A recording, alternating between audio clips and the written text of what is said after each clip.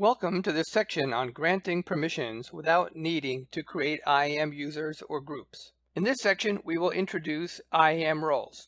We'll talk about how they can be used for granting other AWS accounts access to our account, giving applications that are running on EC2 instances permissions to interact with other AWS services, and granting AWS services permissions to create and manage other AWS resources. And finally, we'll discuss authenticating users with an LDAP directory or other identity provider, and granting these federated users access to our AWS account. In the previous section, we talked about creating IAM users and groups and granting permissions using permissions policies. A third type of IAM entity is a role. In this video, we're going to explain what exactly a role is and what it can be used for.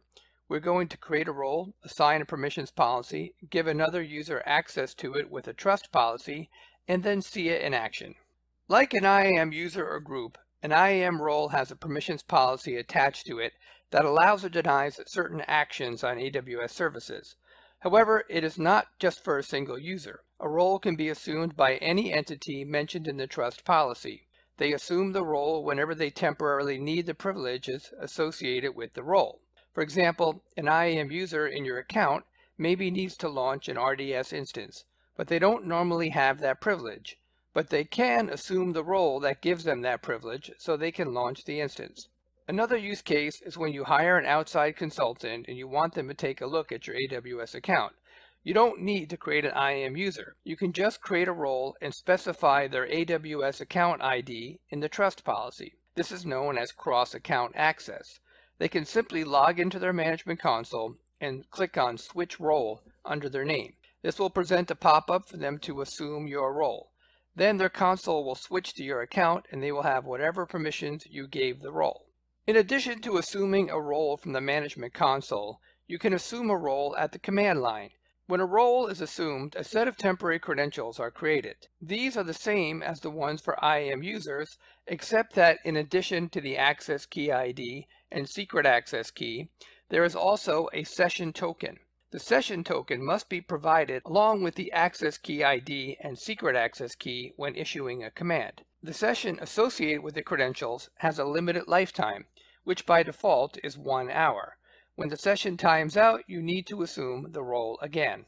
Okay, let's go ahead and create a role, give it some permissions, and then give a different AWS account the permissions to assume this role and get access to some resources in my account. So let's begin by looking at what I have running in the North Virginia region here. I have a couple of EC2 instances uh, listed here. And what I want to do is I want to give my outside consultant uh, a chance to take a look at this. So I'm going to give him full permissions for EC2. So in order to do this, let's go under Services, click on IAM, Roles, and then Create New Role. Let's call it Consultant Role. Click on Next Step. And for this, we want it to check on Role for Cross-Account Access. Uh, I own the other AWS account, so I'm just going to select the first option. And now I need to put in the account number of the second AWS account. And then I'll click Next Step. And I'll choose to give them EC2 full access permissions. And then I click on Create Role. Okay, so now we have the consultant role created. Here is the ARN for the role. The name of the role is consultant role. The trust relationship says that this AWS account down here is trusted. Okay, so now what we need to do is we need to send the consultant the account ID for this account and the name of the role. So we need to make a note of the account ID and the role name, and then we're going to send that to them. Okay, so let's go uh, test this. Let's log out of this account. Okay, I've signed in to the second account, which is going to be taking the role of our consultant.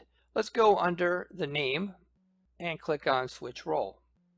Here, the consultant needs to put in the account ID for the other account, the name of the role, which was consultant role, and for display name, we'll just put demo customer, and then choose a color that will display in the console for this role. Okay, let's click on switch role.